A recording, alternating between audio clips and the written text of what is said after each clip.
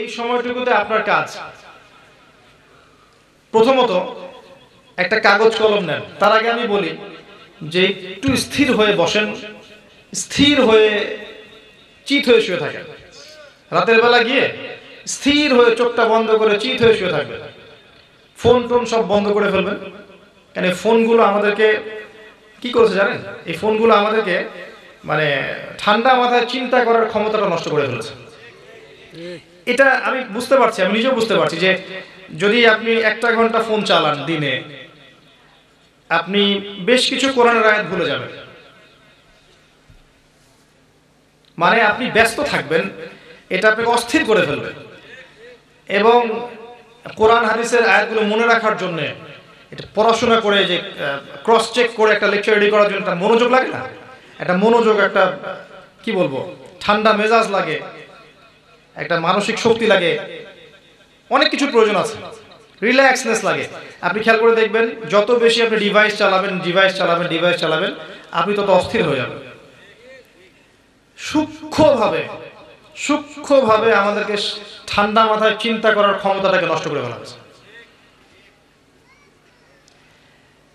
এখন ওয়ার্ল্ডের বাইরে যে বড় বড় কান্ট্রিগুলো আছে, এখানে গেলে দেখবেন যারা গবেষণা করছে বড় বড় লেভেলে আছে। সায়েন্স নিয়ে গবেষণা করছে, কোনো তত্ত্ব নিয়ে গবেষণা করছে, কোনো কিছু থিসিস করছে। ওদেরকে ওই গবেষণার টাইমটাতে এইসব থেকে দূরে রাখা হয়। এখানে ইনভলভ হলেই তারা গবেষণার মাথাটা হারিয়ে ফেলবে, থাকবে না। যেটা বলতে গিয়ে আসলাম, যে এই ফোন টোনগুলো সব বন্ধ করে ফেলেন, চিত হয়ে একটু শুয়ে থাকে, স্থির হয়ে বসেন। দুনিয়া সব ভুলে যান। ঠান্ডা মাথায় চিন্তা করেন যে আপনি কে? চিন্তা করেন যে আপনি কে? আপনার নাম আব্দুল্লাহ আব্দুর রহমান। কোথায় ছিলেন? আপনি কোথায় ছিলেন? আপনি দুনিয়াতে ছিলেন না কোথায় ছিলেন? পাবেন আপনি মায়ের গর্ভে ছিলেন। তার আগে কোথায় ছিলেন? পৃথিবীতে ছিলেন? পৃথিবীতে আপনি ছিলেন না। কোথায় ছিলেন?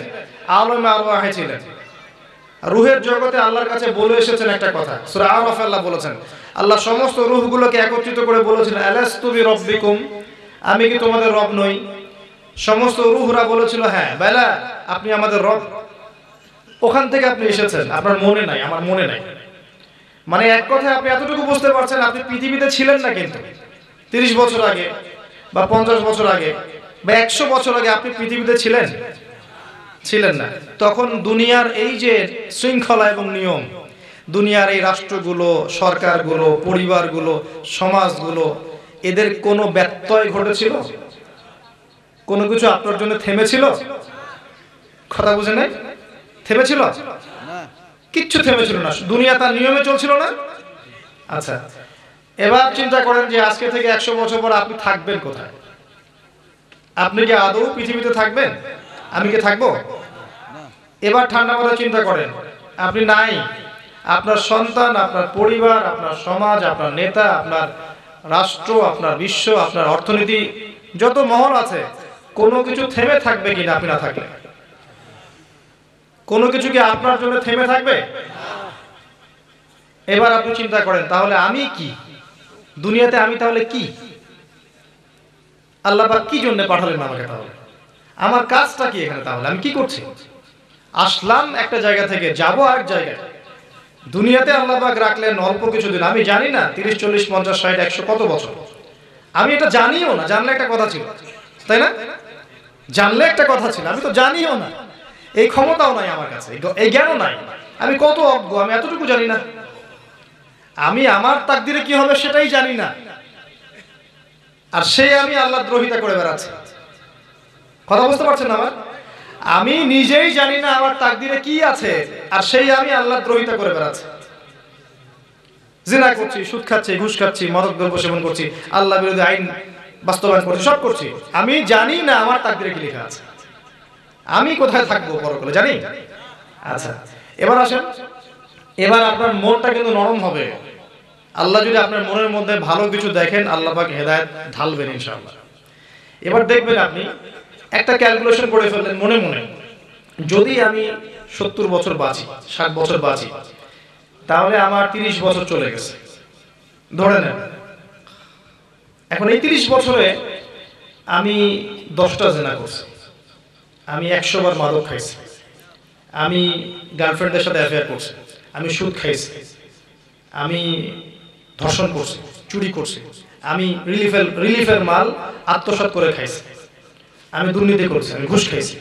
আপনি নিজের আমল নামাটা একটু নিজেই হিসেব করার চেষ্টা করেন তো আজকে রাত্রে শুয়ে। একটু মোরাকাবা করেন। যে আপনি কি করেছেন সারা জীবনে? শোনেন, এটা বেটার ওই দিনের চাইতে। যেদিন আল্লাহ আমল নামা ছুড়ে দিবেন এবং বলবেন করা কিতাবাক, পড়ো তোমার কিতাব। কাফা বিনাফসিকাল ইয়াউমা আলাইকা হাসিবা। আজকে তুমি তোমার হিসাব নেওয়ার জন্য যথেষ্ট।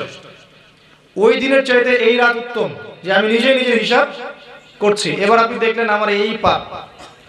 এবার এই পাপগুলোকে দুই ভাগে ভাগ করেন।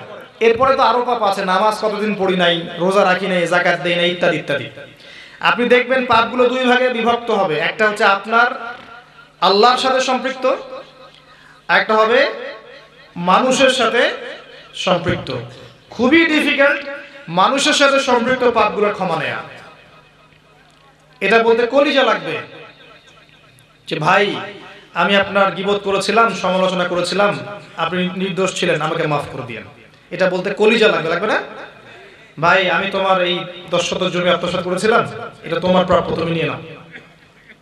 ভাই, আমি তোমার টাকা হাওলাত নিয়েছিলাম, দেই নাই। মেরে খাইছি, নিয়ে নাও। হে জনগণ, তোমাদের জন্য এটা বাজেট ছিল। আমি এর মধ্যে থেকে এত অংশ দিয়েছি, এত অংশ দেইনি, বাকিটা নিয়ে নাও। কলিজা লাগবে না? বড় কলিজা লাগবে। ওমর রাদিয়াল্লাহু আনহু এমন মানুষ ছিলেন। ইসলাম কবুল করার আগে তো কিছু মানুষকে তিনি একটু প্রহার করেছিলেন। ওই যে গোত্রীয় নেতা ছিলেন, আদি গোত্রীয় নেতা ছিলেন। তো ইসলাম কবুল করার পরে তিনি জনসম্মুখে এসে বলছেন হ্যাঁ দা সদরিল ইমান আরাদ। এই যে আমার বুক, যার ইচ্ছা হয় আমার বুকের মধ্যে আঘাত করে প্রতিশোধ নিয়ে নেয় কলিজা লাগে। তার কথা মনে পড়লে একটা কথা মনে হয়, এটা বলতে লোভ সামলাতে পারি না। তিনি ইসলাম কবুল করে কাবা ঘরে গিয়ে বলেছিলেন যে, ইয়া মা আশারাল কোরাইশ, হে কোরাইশ সম্প্রদায় ইলামু আন্নি কাদ আসলামত। তোমরা জেনে রাখো যে আমি ইসলাম কবুল করেছি। ওয়া শাহিদতু আল্লা ইলাহা ইল্লাল্লাহ, আমি সাক্ষ্য দিয়েছি যে আল্লাহ ছাড়া কোনো ইলাহ নেই।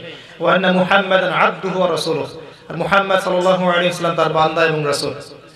মানুষ তাকে মারা শুরু করল, আবার তার গোত্রের কিছু মানুষ এসে তাকে বাঁচালো। বাঁচানোর পর তাকে বলল, আফালা কুনতা কাতামত হে ওমর, তুমি কি চুপ থাকতে পারতে না? ইসলাম কবুল করেছ, ভালো কথা। মানুষের সামনে এভাবে বলার কি দরকার ছিল? তাহলে এই ফাসাদটা হতো না? তখন তিনি বলেছিলেন, ওয়াল্লাহি আল্লাহর কসম করে বলছি, লা উফাররিকান্নাল হাক্কা মিনাল বাতিল। আমি অবশ্যই সত্য থেকে মিথ্যাকে আলাদা করে ফেলব। কেমা ফাররাকাল্লাহু বাইনাল লাইলি ওয়ান নাহার। যেমন করে আল্লাহ পাক রাত এবং দিনকে আলাদা করে দেয় এরপর তার নাম হয়েছে ওমার আল ফারুক এই ব্যক্তি আপনাদের জন্য রোল মডেল ইনিও একজন role model Abu Bakr Siddique role model Osman, Ali, সাহাবা একরাম আনহুম, তারা আমাদের ইয়াং জেনারেশনের কি? এবং সবচেয়ে উসওয়াতুল হাসানাকে মুহাম্মদ সাল্লাল্লাহু আলাইহি ওয়াসাল্লাম। তো আমরা আদর্শ খুঁজে পাই না এখন। তাই না? এই উমরের মতো হতে হবে। এই পাপগুলো, এই পাপগুলোর হিসেব করে যদি মানুষের সাথে জড়িত পাপ থাকে, গিয়ে গিয়ে ক্ষমা নিতে হবে। গিয়ে গিয়ে ক্ষমা নিতে হবে কারণ কি জানেন? যদি আপনি ক্ষমাগুলো না নিয়ে পরকালে ওঠেন, নামাজ, রোজা, হজ জাকাত এগুলো নেকি থাকে, কিন্তু মানুষের সাথে জড়িত পাপ ছিল, তখন ওই দেনাদারদেরকে পুলসিরাতে দাঁড় করিয়ে রাখা হবে। এবং তাদেরকে এই দেনা শোধ করতে হবে। কীভাবে? আপনার নেকি দিয়ে দিয়ে। নেকি দিতে দিতে শেষ হয়ে গেলে তখন তাদের গোনাহ আপনার ঘাড়ে, আমার ঘাড়ে চাপিয়ে দেওয়া হবে এবং এই গোনার ভাগিদার হয়ে আমরা জাহান নামে যেতে পারি। আল্লাহ মাফ করুন। মানুষের সাথে জড়িত হওয়াটা খুবই ডিফিকাল্ট এটাতে খুব সচেতন থাকতে হবে। এরপর আল্লাহর সাথে যেটা জড়িত হ্যাঁ একটা টিপস বলছি। এই দোয়াটা করতে পারেন। আল্লাহুম্মা কফিনি বিহালালিকা আন হারামিক ওয়া আগনিনি বিফadলিকা আম্মান সিওয়াক। আল্লাহ চায় তো আপনাকে সেই মানুষের সাথে জড়িত হকটা সলভ করার কোনো না কোনো রাস্তা বের করে দিবেন ইনশাআল্লাহ। যদি শোধ করতে গিয়ে দেখেন সে বেঁচে নাই, তাহলে তার পরিবারের, তার পরিবারকে টাকা শোধ করে দিবেন। যদি দেখেন যে কেউই নাই, কিন্তু দিতে হবে, তার পক্ষ থেকে আল্লাহর রাস্তায় দান করে দিবেন। যেন সে পরকালে আজরটা পেয়ে যায়। করা যাবে না। এরপরে দেখেন, আল্লাহর সাথে জড়িত পাপ পাবেন কিছু। নামাজ পড়েন নাই, রোজা রাখেন না ইত্যাদি। খালি একটা খালেস তওবা। একটা খালি খালেস তওবা। যে আল্লাহ, আমি যা করেছি, আমাকে মাফ করে দাও আল্লাহ। আমি শয়তানের ধোকায় পড়ে, দুনিয়ার ধোকায় পড়ে, আমি দীর্ঘদিন তোমার আদেশ থেকে নিজেকে বিরত রেখেছিলাম। তুমি আমার রব। তুমি আফুন করিম আল গফুর রহিম। তুমি আমার সমস্ত পাপকে মাফ করে দাও। আল্লাহর জন্য এক মুহূর্তের ব্যাপার, আল্লাহ বলবেন, যাও, মাফ করে দিলাম। শুধু তাই নয়, আল্লাহ পাক বলেছেন, ইল্লা মান তাবা ওয়া আমানা ওয়া আমিলা আমালান সালিহান ফাউলাইকা ইউবাদদিলু আল্লাহু সাইয়্যাতিহিম হাসানাত যারা ঈমান নিয়ে আসবে, আমলে সলেহ করবে, আল্লাহ পাক তাদের, সরি, যারা তওবা করবে, আগে তওবা করবে তারপর ইমান নিয়ে আসবে। এবার আমলে সলেহ সৎ কাজ করবে। আল্লাহ পাক তাদের গোনাগুলোকে নেকি দিয়ে পরিবর্তন করে দেবেন ইনশাআল্লাহ। এবার আপনি সামনে এগোনো শুরু করেন।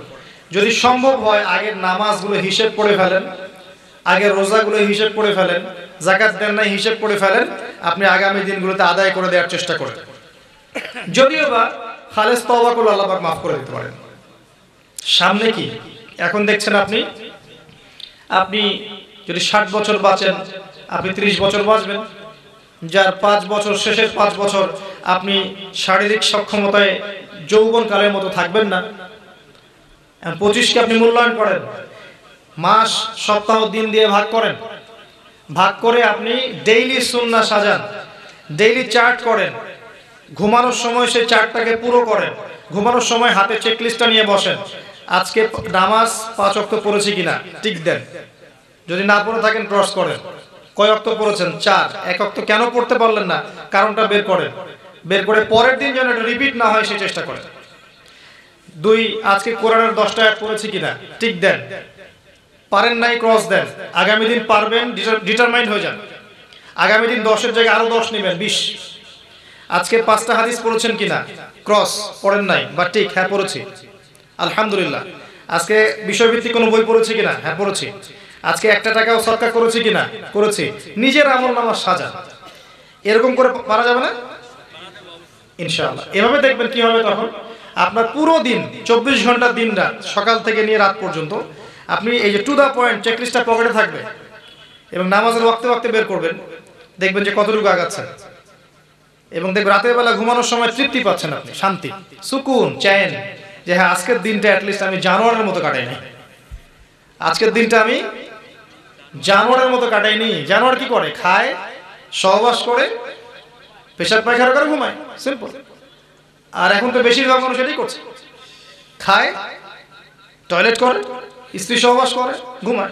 সিম্পল আর যদি ফাঁক ফোকরে দুই ঘণ্টা সময় পাওয়া যায়, ইসলামের এগেনস্ট লেখা শুরু করে। তাই না? তো, এইভাবে সাজান। তাহলে হবে কি আপনার প্রতিটা দিন ইনশাল্লাহ রসুল্লাহ সাল্লাহ ইসলামের সুন্না মতো কাটানোর প্রয়াস পাবেন ইনশাল্লাহ ঘুমাচ্ছেন, ঘুমানোর সন্না ঘুম থেকে উঠলেন, ওঠার সন্না বাথরুমে যাচ্ছেন, তার সন্না বের হলেন, তার সন্না খাবার খাচ্ছেন, তার সন্না নামাজে গেলেন, তার সন্না নামাজের পরে বসে জিগির আজগার করলেন, ডেইলি এক পাড়া করে কোরআন তেলাওয়াত করার চেষ্টা করলেন। বা এক পাড়া না হোক অ্যাটলিস্ট দশটা পৃষ্ঠা পড়া যাবে না? পড়া যাবে না? ইনশাল্লাহ পড়া যাবে। দুইটা, পাঁচটা হাদিস পড়েন। হাদিসের একটা মৌলিক বই কিনে নেন। রিয়াদুল সালেহীন বাসায় রাখেন, মিশকাতুল মাসাবি বাসায় রাখেন। বা এই যে ফয়জুল কালাম একটা বই আছে, অত্যন্ত খুব সুন্দর বইটা, ছোট্ট বই। এখানে অনেক সুন্দর সুন্দর কিছু হাদিস আছে, এগুলো রাখেন। মুন্তাখা হাদিস পড়েন? পড়েন না? বাসায় রাখেন। পড়েন। আপনি হাদিস পড়ার চর্চা করেন। নবী সিরাত পড়েন, বিষয়ভিত্তিক বিষয়ভিত্তিক বইগুলো পড়েন এবং পেপার পড়েন, খবর দেখেন, কারেন্ট কারেন্ট অ্যাফেয়ার্স পড়েন। চলতি বিশ্ব, নতুন বিশ্ব বইগুলো আছে না? এগুলো পড়েন। পড়াশোনা করেন। হার্ড কপি পড়ার চেষ্টা করেন। সফট কপিতে বেশি সময় দিয়ে না। হার্ড কপি বইগুলো কিনে পড়ার চেষ্টা করেন। বাসায় একটা সমৃদ্ধ লাইব্রেরি গড়ে তোলার চেষ্টা করেন। এভাবে পড়াশোনা করেন। সিলেবাস সাজিয়ে নেন। যেগুলা বুঝবেন না, আলেমুল আমার কাছে জিজ্ঞাসা করেন। জিজ্ঞাসা করে জেনে নেন। কারণ সবার পক্ষে মাদ্রাসায় ভর্তি হওয়া সম্ভব হয়তো হবে না।